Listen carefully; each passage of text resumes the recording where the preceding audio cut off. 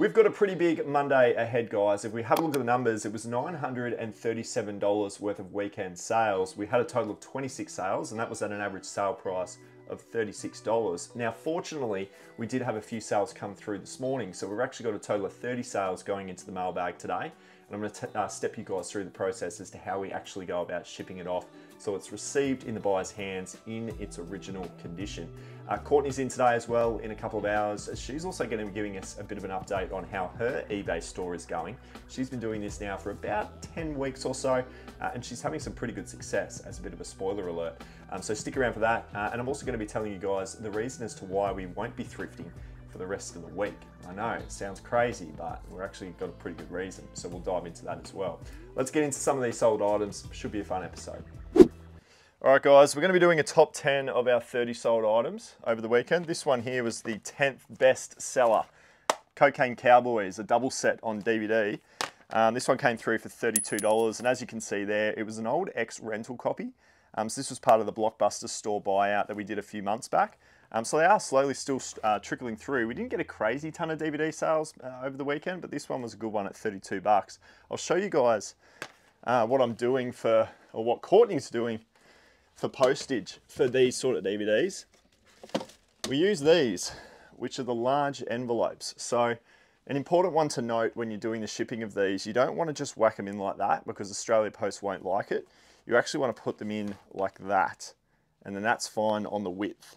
There's no issues going into the mailbox that way. So use that. It's a little bit cheaper than putting it into a small satchel. Uh, that's how I like to do the postage for multiples of two. Okay, number nine is this one here, guys. Now, I'm not going to speak too much of this because I feel like I've spoken about it endless times on this channel. It's the XXXX beer related hat. Anything beer merchandise related, XXXX being a big one. Um, these hats sell very well. And we got, how much was it, Courtney? 35? 34. $34. Um, there was a best offer on that one. So, awesome hat.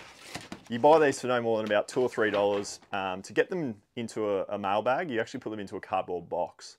Um, so we're going to put into a cardboard box. You basically just want to protect the brim. Um, so that's the only thing you need to be aware of when you're selling your hats.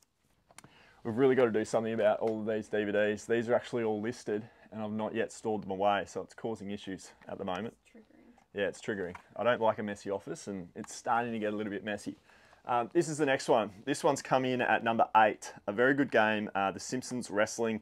Can't remember where along the line we picked this one up for, but I've actually forgotten how much it sold for, Courtney. Is that 40? Uh, yeah.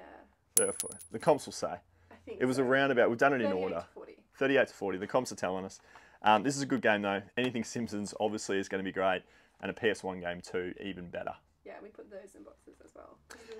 Yep, that goes into a cardboard, cardboard box as well. We put butcher's paper and bubble wrap um, for these ones. And always, just because of the crushing, it often gets crushed if it was to go into a satchel. Uh, we go ahead and we put that one into a box as well. Now, Courtney last week started a SKU system, guys. Look at this. Number 009, number 10.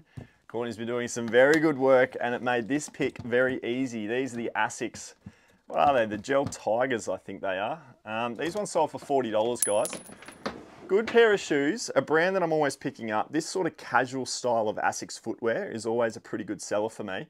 Um, certainly something that I'm picking up whenever I'm seeing it, especially flea markets. I always seem to find them in flea. Um, and you get five to 10 bucks worth of purchase price and you get a turnaround of about 40 or $50. Um, these can just simply go into a satchel. I actually do it like this with the postage of my shoes. I turn them over like that and then I slide them into the mailbag just like that. And that way they fit perfect. When you do it like that, you can see the V. Sometimes it won't actually fit into the mailbag, but as soon as you turn it over like that, it's nice and even and it just slides straight in. It was a lesson that Courtney, you, you learned that early on. You were trying to do them like that. Yeah, still struggling. Still struggling? As soon as I said do it like that, yeah. job's a lot easier. Yeah. All right, now this is the next one. I don't know what number we're up to, but regardless, it doesn't matter. Um, this one here was a Jillaroos women's um, so this is the Jillaroos. So it's the Women's Rugby League, the Women's National Rugby League side. And I knew it was a player issue just simply for the player number that was on it. If you were to buy this generically out of a retail store, they wouldn't have a specified player number on the bag. So I found this in an op shop recently. It was only $4. Had a viewer of the channel actually say that they wanted to get their hands on this and we're doing a local pickup in a couple of hours. He's going to be here. He actually could be here. He said 12 o'clock and it's 12.20. Um, so he could be knocking any second, uh, and he's taking this away for $40. So that was a very good sale too, 36 profit. All right, now I did a bit of a, a grab over at my parents' place of my old Pokemon cards back when I was a kid. Have a look at this. Ninetales. It's a 2006 edition. Um, so yeah, I, look, I did some comp research on a few of these holographic cards, and this one was worth quite a bit of money. And we ended up getting a well, probably a two or a three day sell through rate on this one. Sold very fast, uh, and it sold for 49.95. So with this one, we're going to put it into a padded mailer. Um, we're just going to, yeah, put it into a padded mailer, maybe a bit of cardboard. Yeah, we do cardboard with them. We do cardboard, don't we? Yeah. So you, you know it better than me. cardboard, cardboard into a padded mailer. Already got the bubble wrap within the padded mailer. They cost about a dollar to pick up, but I think for these sorts of items, um, you really want to be doing your due, due, diligence and putting a bit of cardboard with that padded mailer. But yeah, $49.95 on some Pokemon cards. We've got a few more here as well. And these are all individually listed too. So if you want to get your hands on any of these, let me know. All right, I think this is number four, guys. We've got the Nike 270 Reacts. Uh, very good pair of shoes, these ones, and the soles are in excellent condition. It all comes down to quality at the end of the day, guys. If these were in ratty condition, you're not going to get the $50 sale price that we were able to get for these ones. So I think I could have held out a few more uh, for a few more dollars. I think I probably could have got about 60, maybe 70 on these, um, but I'm still pretty stoked to get a $50 sale price. They should hopefully, using our little trick, fit into a small satchel, uh, which would be nice because we'll make us a few more dollars profit. All right, this one was the next one, guys. State of Origin is on at the moment. Um, so no wonder this one's come through and sold. 55, I think, Courtney? Yeah. 55 bucks for this one. I think I had it priced at 60 and we took a best offer. It's a size medium. It's a football jersey. Sporting gear goes really well. So I think I'm actually going to phase out of my sports gear, guys. So if you do want any wholesale uh, on clothing, I've got these 10 tubs of clothing. A lot of them are actually sports gear. And I, I kind of initially held on to the sports gear to want to try and keep selling it like I have with this one here. But I'm actually going to phase out of it. I'm going to do wholesale prices for you guys, the audience, um, for not only sports gear, but all of my remaining stuff as well. So I don't know what the price points will be just yet. I'm going to make it a very fair deal for you guys. Um, so let me know on Instagram if you want to get your hands on some sports gear, plus all of the other stuff, because if you don't buy it, I'm just going to donate it to the op shops. So this one here is the endangered species. Um, we've got 14 volumes here of this X Factor comic book or X Men, I think. Yeah, it's all X Men. Don't know, don't know why that says X Factor, but um, yeah, there's I don't know. It was a big comic book bundle that we bought at a um, cash converters, and I paid I think I paid three hundred dollars, and I got about 500 different comic books. And this was just one that I pulled together, just looking at the endangered species here. Um, so I found that there was a bit of a set. I don't know if it's complete or not. I listed it up for $100 and uh, we got a $75 sale price. So I was kind of happy about that. 75 is pretty decent.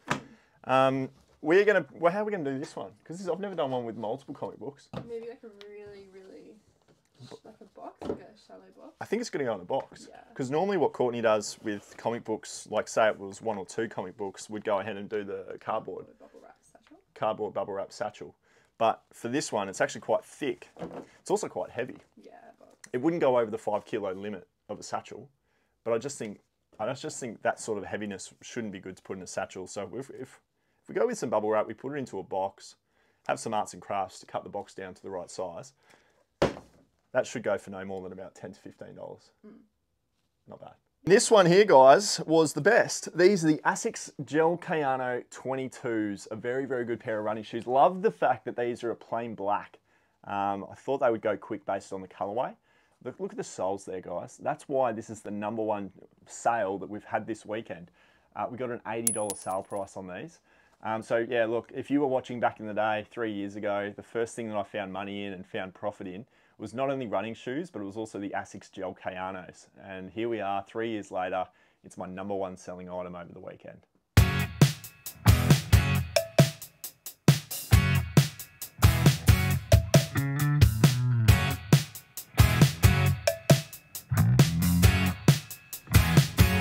Alright, hi guys, I'm just doing a eBay store update for my store. Um, this is like the 10th or 11th week that now that I've been doing eBay on the side of my two jobs. Um, been doing really good aside from this was the first week that I missed one day of listing so I didn't list my three items up yesterday which is a little bit stressful but I had a pretty full week not that that's an excuse but that's the situation I'm in which means I have to put six items into my store today which will be the rest of my stock that I actually currently have. So it's also the first time I've kind of run into the problem of not having stock ready to list, but I did a little bit of thrifting before I came to Matt's place today for work and I didn't have any luck so I'll do some thrifting tomorrow on my day off and see how I go. Um, but yeah it's doing pretty good. I seem to get like all my sales at the end of the week like Thursday Friday Saturdays I get sales come through which is which is good. Um, but yeah I guess I'll keep you updated. I'm sure we'll do another video soon as well.